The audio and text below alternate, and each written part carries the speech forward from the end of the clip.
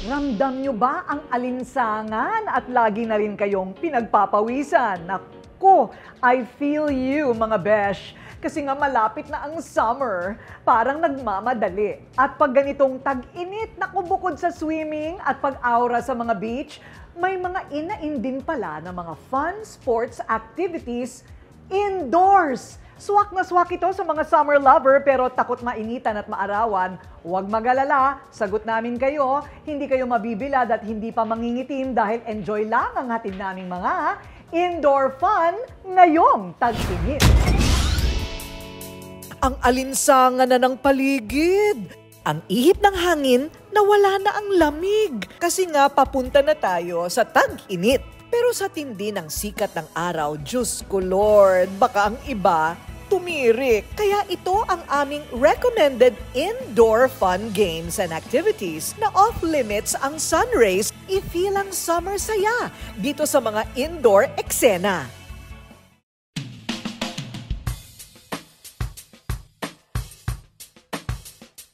Mala Tiger Woods ba ang galawan ninyo? Pero hindi kaya ng budget ang maglaro sa malaking golf course? Eto na ang sagot sa Dream Golf Tournament mo, ang Quantum Golf sa Pasig. Pagpasok pa lang, nakuramdam na ang sporty vibes. Gaganahan talaga ang lahat na mag-golf kahit hindi professional player. What's good about quantum golf is that we've, we've gotten one of the best technologies, which is Foresight, which allows you to play 18 holes even when you're indoor. Actually, it's, it's exactly just the same because when you play golf in a golf course, it's just the same swing eh.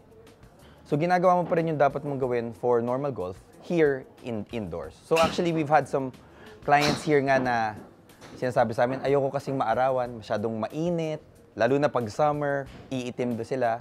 Here, at least, di ka maarawan, malamig, air-conditioned. Sa halagang 799 pesos, complete package na ang indoor golf experience. We just made it very simple. It's just 700 per hour per bay. So meaning, kung apat, kung apat kayo and you just want to use one bay, it's just 700.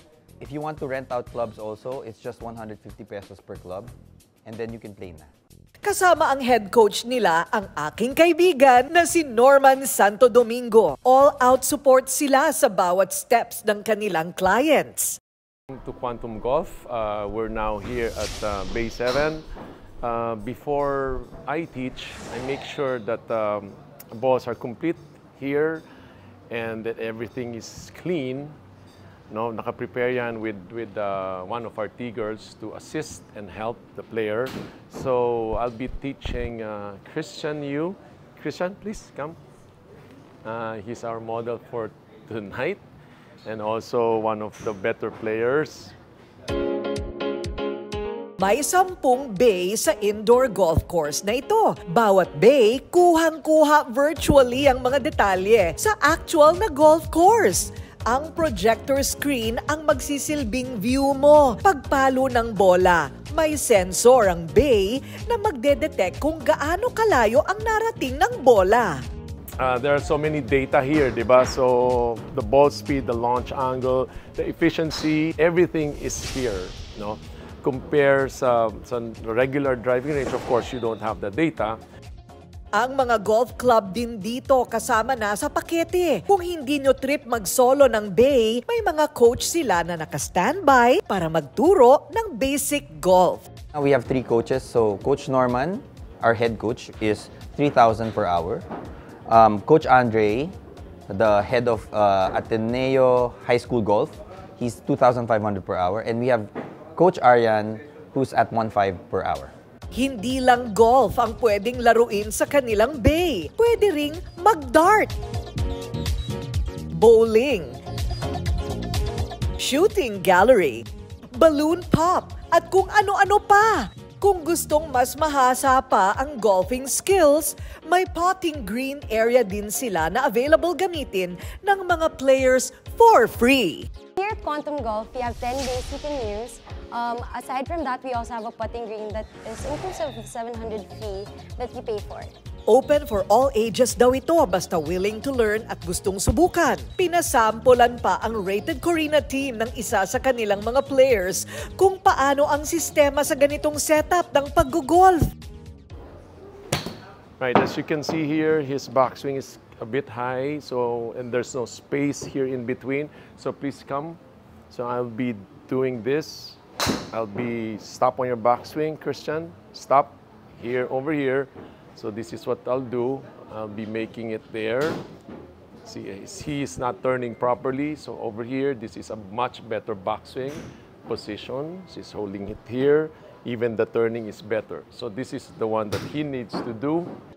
May mga additional offers din sila dito. Pwedeng umorder ng pagkain. May gym din sa loob ng Quantum Golf para sa mga gustong makapag-flex ng muscles. At ang dapat daw abangan sa kanila ngayong March, bukod sa indoor golf setup nila ay magkakaroon na rin sila ng mini golf course. Ang bongga, di ba? Ito naman ang K-Magic Skin Cream for Body. Hindi kasi pwedeng masyadong matapang ang exfoliation pagka sa ibang parts ng katawan like kilikili, sensitive ang skin yan. K-Magic Skin Cream for Body. Kung extreme activity naman ang hanap ninyo, swak ang Y Jump Trampoline Park sa inyo. Dito lang yan sa loob ng Venice Grand Canal Mall sa Tagig. Sa lawak nito na 1,500 square meters, siguradong challenging ang magiging journey sa loob ng trampoline park na ito. Sa Wii Jump, ah, pwede kang mag-enjoy habang natututo at nag-workout. Safe daw ang mga activities nila dito dahil may mga naka-standby silang staff for monitoring. Safe na safe ah, and bago rin naman sila mag-start, ah, ino-orient sila kung ano yung do's and don'ts natin dito sa loob. Saan ka makakakita na ang zipline nasa loob ng mall? Hindi lang yan, may basketball court din sila. May island zone kung saan pwedeng matuto ng basic parkour tricks. Sticky wall na very Instagrammable. At kung ano-ano pa. General admission natin, which is yung 1 hour is 499 as additional na 99 pesos para sa grip sack. So, ang bali total niya is 598.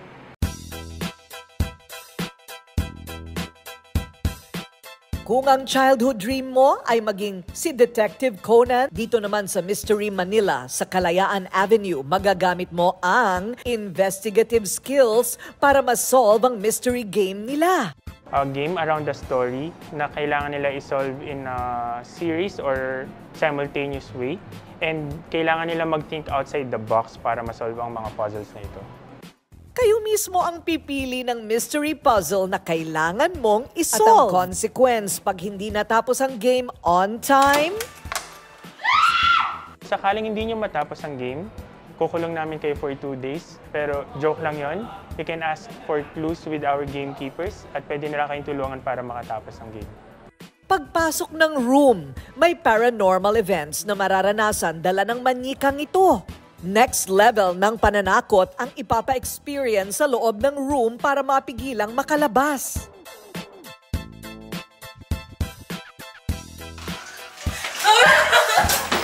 Debbie's Doll is a horror-themed room. Tapos, ang story nun or ang premise nun is kayo ay isang family na nag-move in sa nakakatakot na bahay.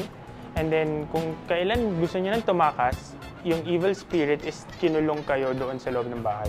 Kung matatakutin naman at ayaw ng paranormal feels, ang crime of the century ang bagay sa inyo. Ang mystery na ito ay para sa matatapang lang ang loob.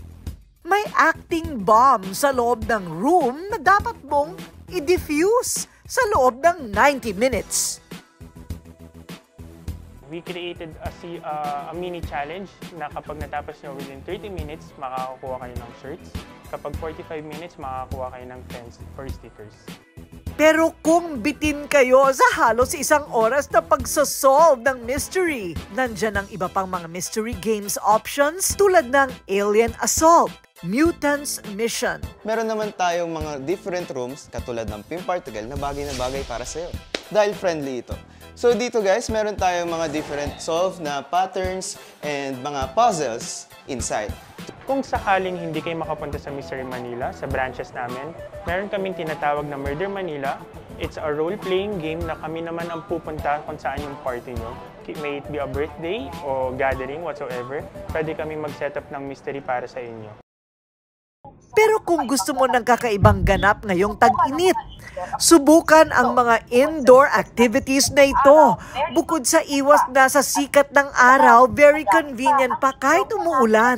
At higit, nagamit pa ang inyong mga natatanging galing. So dito guys, meron tayong mga different solve na patterns and mga puzzles inside. Sa mga Pilipino ang pagiging malikhain at talentado. Ang iba pa sa kanila ay kinikilala na sa ibang bansa. Tulad na lang ng artist na si Elito Sirca na naiangat niya ang kanilang kabuhayan gamit ang husay sa pagpipinta. Ang mga gamit niya lahat natural at organic. Pero ang kakaibang estilo niya, pati ang kanyang dugo, kasama sa kanyang obra. Ano nga ba ang mahika sa likod ng bawat pinta ng tinitingala ngayong amang pinto?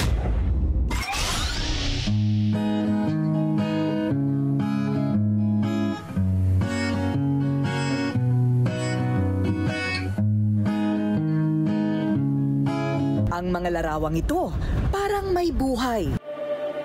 Pinatingkad pa ng iba't ibang gulay. Yan ang mga obra ni Elito Sirca o mas kilala bilang si Amang Pintor. Sa likod ng magaganda niyang mga gawa ay ang kahanga-hangang kwento kung paano siya nagsimula at unti-unting nakilala sa buong mundo. Si Elito'y nagmula sa isang mahirap na pamilya sa Nueva Ecija. Ang kanyang mga magulang sa bukid at ilog umaasa para kumita. Yung nanay ko sa bahay lang. Tapos yung tatay ko kapag ka, natatandaan ko nung grade 1 ako, pag madaling araw pupunta siya ng ilog, nangingisda. Ganon. Sa edad na lima, tumutulong na si Elito sa paglalako ng isda sa kanilang bayan. Hindi tulad ng isang ordinaryong bata. Wala siyang panahon na makapaglaro man lang dahil hirap sila sa buhay. Nagtataka ka lang bakit yung ibang bata mayroon silang laruan na ganito, ikaw wala. Yung mga ganon. So, doon ka na lang nagtataka. Ah, may pera sila, pambili, kami wala. Tinuon na lang noon ng batang si Elito ang kanyang atensyon sa pagguhit. At dahil walang pambili ng gamit, nagtityaga ang bata na gamitin ang kanilang mga tira na uling. Nag-start lang ako noon sa ah, mga charcoal sa kalan. No? Ah, yan, mga lapis na mga bigay-bigay lang. Sinubukan din ni Elito na gumamit ng kamatis at kalawang sa pagkukulay ng kanyang mga pinipinta. Maging ang mga tirang pintura at plywood na inuuwi ng kanyang ama, pinagtsitsagaan din niya. Mahasa lang ang kanyang talent sa pagguhit at pagpipinta. Walang-wala talaga na magamit ng mga pintura.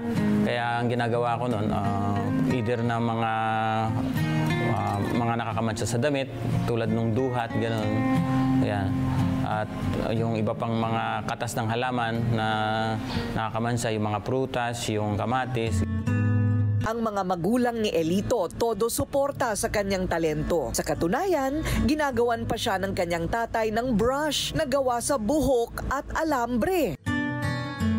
Wala akong magamit na brush noon, kaya pagka kinugupitan, ginugupitan ako ng tatay ko, kasi yung tatay ko barbero din eh. Siya siya gumagupit sa akin lagi. At yung, natit, yung ah, buhok ko na nakukuha, ginagawa niya, ah, niipit sa lata.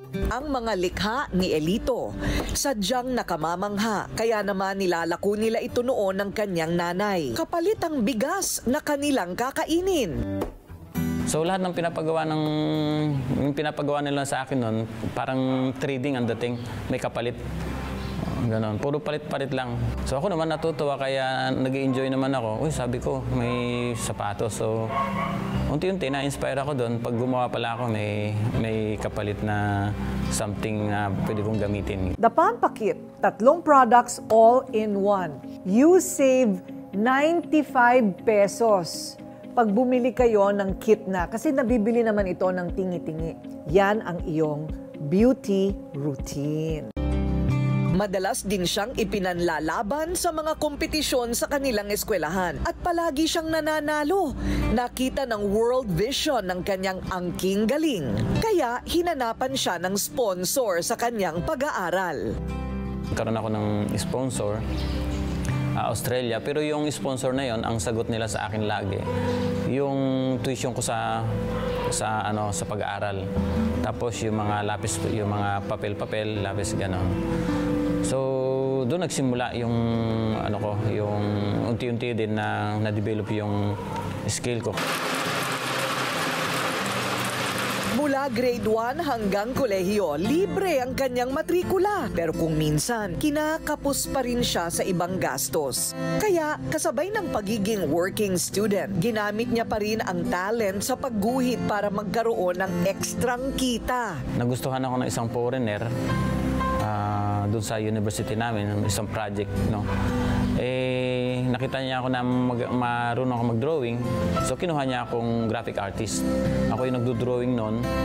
At kahit na nagtatrabaho na si Elito bilang isang programmer, hindi pa rin ito huminto sa pagpipinta. Hanggang dinala siya sa iba't ibang lugar ng kanyang mga obra. Talagang tinarget ko na makapag-show sa ibang bansa. At, maka- at saka yung makapag ah, hanap ng mga ah, collectors na talagang yung nagustuhan yung mga gawa ko. Ganun. Kung dati-rati ang kanyang mga ginuguhit ay bigas lang ang kapalit. Ngayon, mula 45,000 hanggang 500,000 pesos na ang kaya niyang kitain Mahal siya, masasabi natin dahil nagkaroon na siya ng pangalan, sumikat na siya at sa pagiging indigenous niya, paggamit na ng mga contemporary medium, medyo tumaas na yung, ano niya, yung pricing or value ng artworks niya. Kaya naman nakapagpatayo na siya ng sariling bahay na may mini art museum pa. At lahat ng yan ay katas ng kanyang talent at mga obra. Pag alam mo naman, pag mural na siya, pag pag-usapan, so me- medyo mahal na yung dating doon. Ganun. Kaya pag umuwi ako ng Pilipinas, ah, nakakaipon naman ako kahit paano. No? Kaya nauunti-unti ko yung bahay. Kada uwi ko, gano'n. So, papagawa ng bahay hanggang sa unti-unti. Kasi pangarap ko unang-una yung magkaroon ng sariling art museum. At yun nga natupad niya. Ano?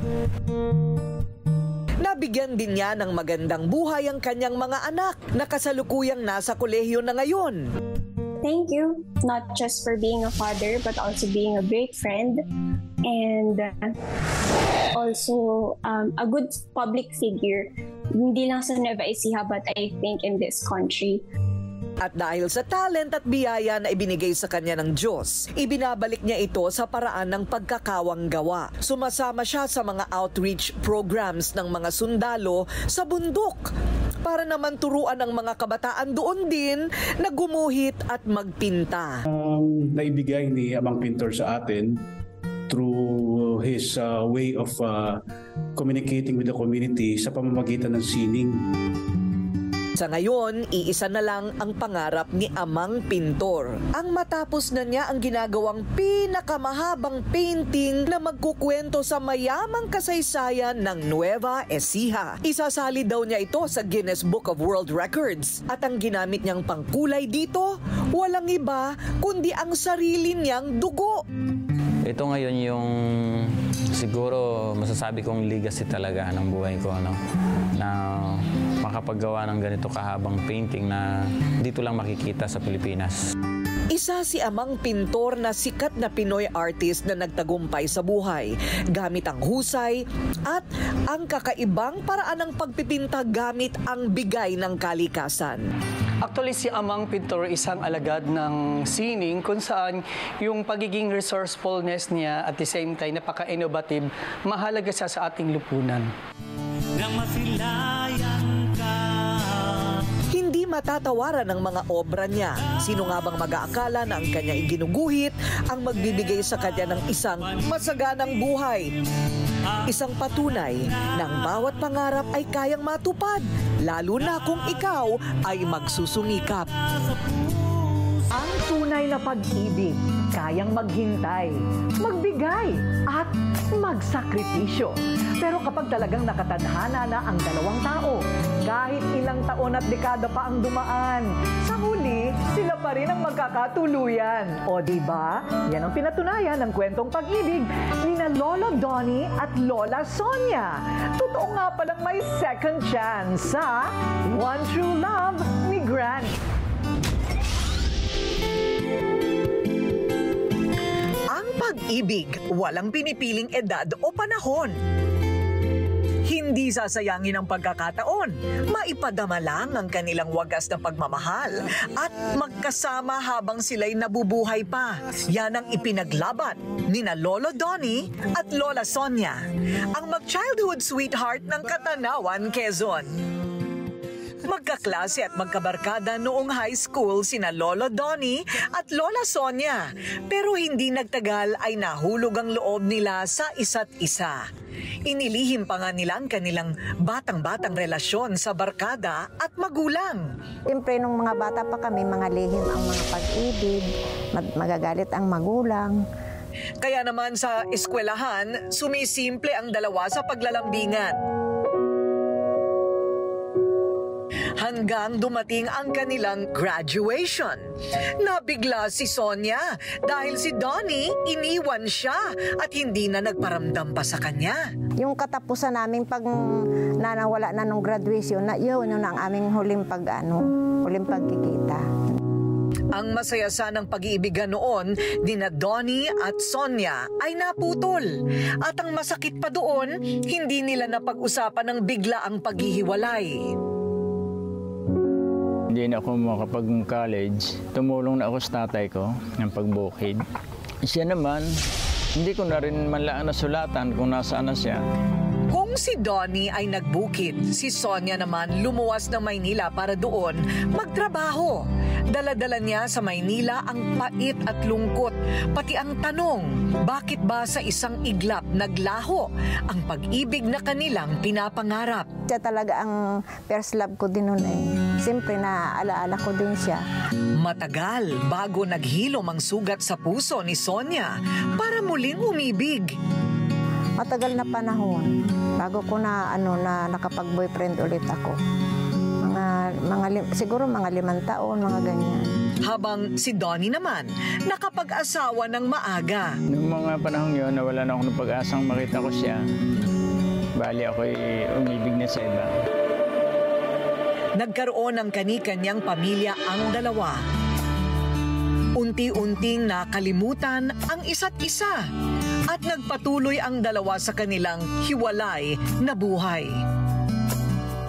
Hindi nila inaasahan na muling magkita nang maimbitahan sila sa alumni homecoming ng kanilang eskwela. Ang dalawa, nagkahiyaan kung sino ang unang mabati. Nagkaroon ng tila pader na humaharang sa kanila para magkumustahan. Alam ko na siya may asawa. May asawa din ako. Eh di nahihiya. Pero siya naman ay parang may gusto siyang itanong gano'n na, na nahihiya siya. Natatakot ako baka may asawa, may asawa siya eh. Ako naman may asawa pa rin. Ang tadhana talagang mapaglaro.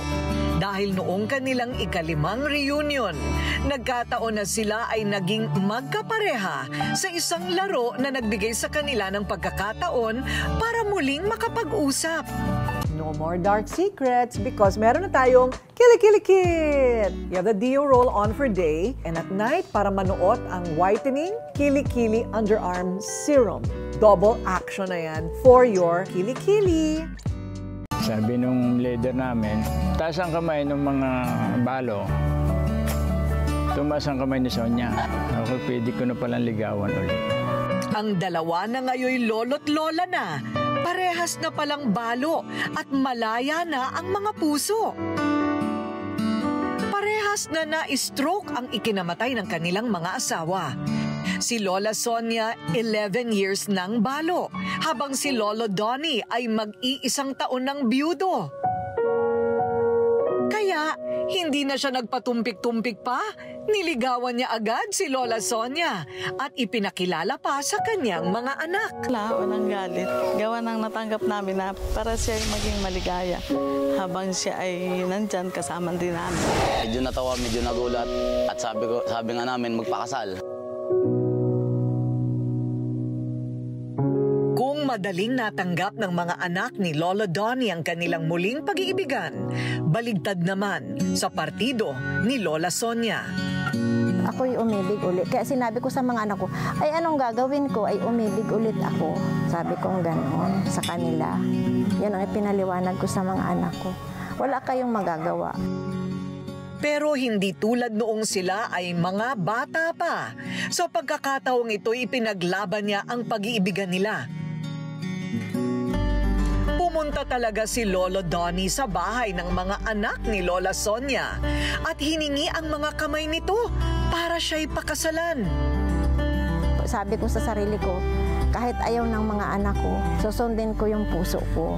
Hindi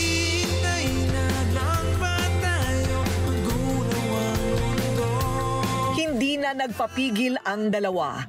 Ang kanilang pagliligawan diniretso na sa kasalan. Kahit na may ilang tumutol, mas marami naman ang natuwa sa pagpapatuloy ng kanilang naudlot na pagmamahalan. Sa edad nila na ganon, ah, pagkatapos nung magkaroon sila ng magandang nakaraan, kumbaga itinuloy nila yung kanilang magandang kabanata. Eh, hindi ko rin in-expect dahil hindi naman lahat ng ganon ang kakagustuhan eh, nauwi sa kasalan. Masayang masaya po kami nung kasalan kasi ang feeling namin ay mga teenager lang yung kinasal.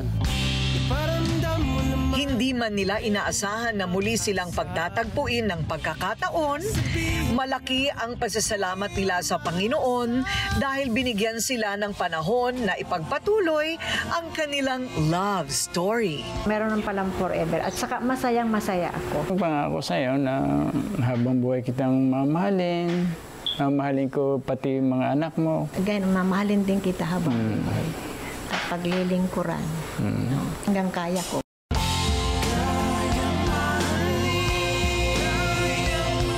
Sabi nga nila lolo at lola ang kanilang pag-ibig may tamang panahon at pagkakataon. Pero kung minsan ang tadhanay sadyang mapaglaro, sinubok man ang katatagan ng kanilang pag-iibigan at kung gaano katibay ang pagmamahalan, naniniwala sila na kapag kayo talaga ang para sa isa't isa, sa huli gagawa ng paraan ng universe para muling magtagpo ang mga puso. Para ituloy ang pagmamahalang laan sa dalawang taong tunay na nagmamahalan.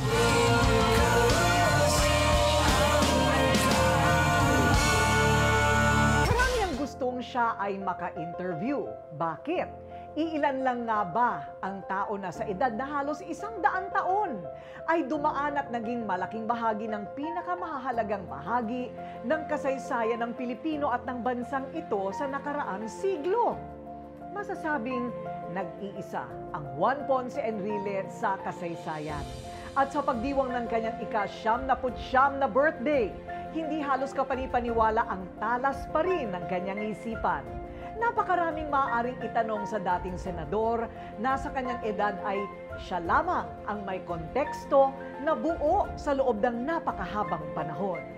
Well, ito na nga yun. Let's get to know him more. Tiyak lahat may matututunan sa sinasabing kontrobersyal. Idol, isang legend. Ito ang 99 Lives ni JPE.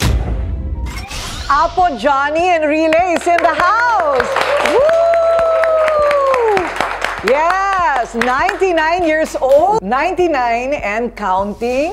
Wow. 99 Yes. and waiting. And waiting, waiting for 100. Rina, don't ever think that you have all the time. Anything can happen. Just, just ride along. Enjoy your life, whatever it is. Is that your secret? I have no secrets. I'm like nobody can uh, follow my life. Akalain nyo, sa edad niyang siyam na putsyam, matalas pa rin ang kanyang isipan. But you remember everything since you were born? Yes. I was born almost at the turn of the century. Si Juan Ponce Enrile, ipinanganak noong February 14, 1924, sa bayan ng Gonzaga sa Cagayan. Bininyagan siya sa pangalang Juanito Puruganan. Ito ang apelyido ng kanyang tunay na ina. umalis siya sa Gonzaga at pumunta sa poblasyon para doon mag-aral at magtrabaho bilang katulong sa kamag-anak ng kanyang nanay. Hindi nagtagal, siya'y lumipat sa Apari at nag-aral sa Cagayan Valley Institute. You are very open about being anak sa labas. Yes. You always say that. That- Why? that- Why? why, that- that- why? that is reality. My father was uh, married. He has children. He saw my mother. She was young and widow, and then they embraced each other. They produced a Juan, Juan Pons, Juanito. I did not mind it. In fact, in my school, they used to shout at me and say, eh, bastardo yan eh. Ah, ganon? How did you take it? I didn't mind it. I passed through all kinds of trade. I became a fisherman, I became a farmer, I became a road worker, I became a lumberjack, anything Naging yaya to pa feed daw. myself. Yeah. I never wore a pair of shoes or slippers until I was 21. Nakapaa ka lang, Apo? I only finished first year before the war. Nang sumiklab ang ikalawang digmaang pandaigdig, sumapi siya sa mga gerilya laban sa mga Hapon. Do you still remember the days with the Japanese? Yes, the tortures that I went through. 90 days in the hands of the Kempeitai. 90 days of hell. I could feel the blade of the samurai on my neck. I was beaten up.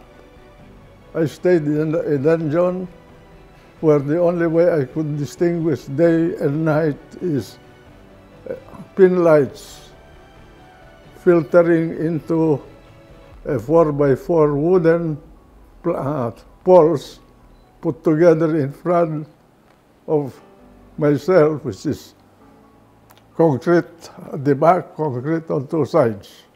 Mm-hmm. And the entrance is half a meter. You have to crawl inside. You do your thing inside in a barrel. You sleep on a cemented floor without any mat or blanket. I had my clothes as a guerrilla, which I never took off for 90 days without any bath. And I live on a bowl of rice. Sometimes it's spoiled. How do you think you survived that? I was used to hardship in my youth because of poverty. I used to eat only once a day, sometimes not even once. None of you could imagine what I went through. Nang tapos na ang gyera, nakilala ni Juanito ang kanyang ama sa opisina nito sa Binondo, Maynila, si Don Alfonso. Dinala siya ni Don Alfonso Enrile sa bahay nito sa Malabon. At dito'y nabinyagan si Juanito ng bagong pangalan. Naging Juan Ponce Enrile. Yeah, he asked me what I wanted. And I said, nothing. I just want to be educated. Ipinagpatuloy ni JPE ang kanyang pag-aaral sa high school sa St. James Academy sa Malabon. 1947, pumasok siya sa Ateneo de Manila at nag-graduate bilang cum laude at may degree na Associate in Arts. Sa Universidad ng Pilipinas o UP naman nagtapos din siya bilang cum laude at salutatorian ng UP College of Law Class 1953. Pumasa si JPE sa bar examination, nag-aral siya sa Harvard University sa Amerika para magpakadalubhasa sa batas at espesyalidad sa taxation at corporate law. Nang bumalik sa Pilipinas, isa na siya sa pinakamagaling na abogado na walang natalong kaso. Your personal history, you know, all the hardships produced a hunger for you to excel. things happened to, in my life that changed what I wanted to be. And then I, I diverted my path. I wanted to be an engineer. Something happened. I saw that people are not equal. So I changed my course. I became a lawyer. Your education, taking up law, is what opened your eyes to politics? Politics was out of my my ambition. I never wanted to go into politics. It just happened. Ito ginawa ko kasi araw-araw ako halos naka-makeup. Ito, very hygienic, has vitamins, and is also lightening on the skin. Kahit yung mahirap tanggalin na mascara, tanggal lahat yan. Take it off, girl! Sa dami ng trabaho ni Manong Johnny mula sa pagkabata hanggang sa umabot na nga siya ng 99 years old, paano naman kaya pag dinadapuan siya ng maraming sakit? When I went to Singapore for a checkup, the doctors there examined me thoroughly. And then, do you remember if you got sick, very sick? Yes, I said. I, when I was young, after I had malaria, I, I got sick. I was spitting uh, the whole night until I was spitting a greenish yellowish bile. And then I was able to get out of it. I went through a, had dysentery. And then, you know, why did you ask that? You're one of a very few per- persons that we know in medicine who survived that disease. Wow. It was uh, something, a virulent kind of hepatitis. What is the most important thing in life? That's a big question, I know. But uh, what comes to mind first? At 99, it changes, right? I think the most important thing in life, your health. So preserve it. Exercise mother right lane. It moderate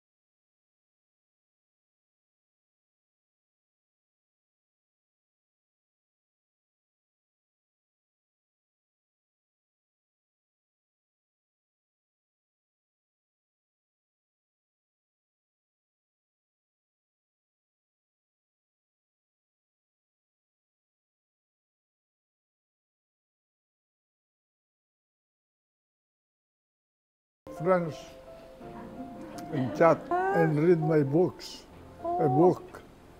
Then I go back to sleep. I wake up at 4 o'clock, I go back to my computer. Sometimes I w- I wake, I wake up at 9. So you have enough rest. At least I put seven hours. Then Are you give daughter will vitamins? For his brain. And tell me something about news. I want to know the vitamins of the brain. They bombard me with vitamins. Nalagpasan din niya ang coronavirus, kaya't ang biro ng iba na takot daw ang COVID kay Manong Johnny. I never had any symptoms.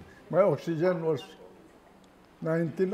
I had no fever, I have no body aches, I have no, no loss of breathing. I was uh, positive.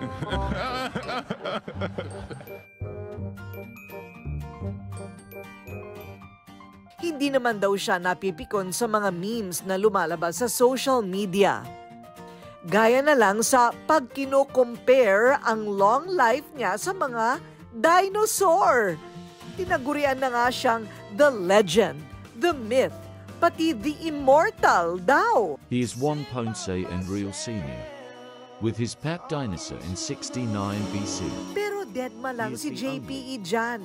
Dahil sinasabi nga niya palagi sa atin, gusto niya happy tayo. Ayun! What makes you happiest? What makes you smile? My wife. Talaga? Yeah. Katrina is right there. She- She's the second one. She's my baby, my only daughter.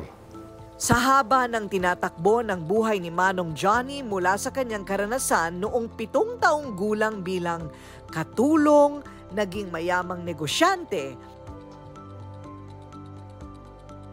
magaling na abogado, tanyag na mambabatas at politiko, at ngayon ay lodi pa ng mga millennials, may paalala siya sa bagong henerasyon ng kabataang Pilipino. And I worry for the uh, young generation of this country. They're unprepared. They think life is easy. Life is going to be harder. You have to be very skillful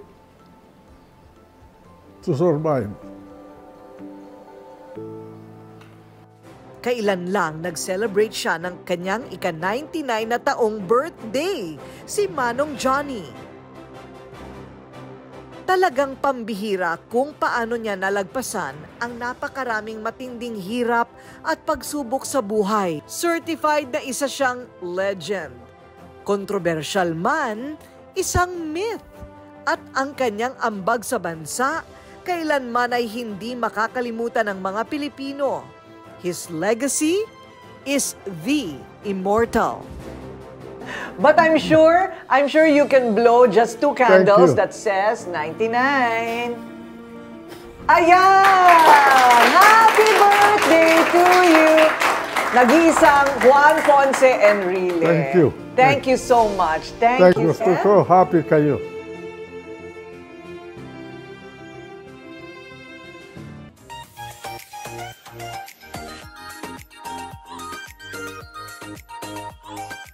I don't use any other shampoo and conditioner except Happy Hair shampoo and conditioner. Ayan. So, this is the shampoo.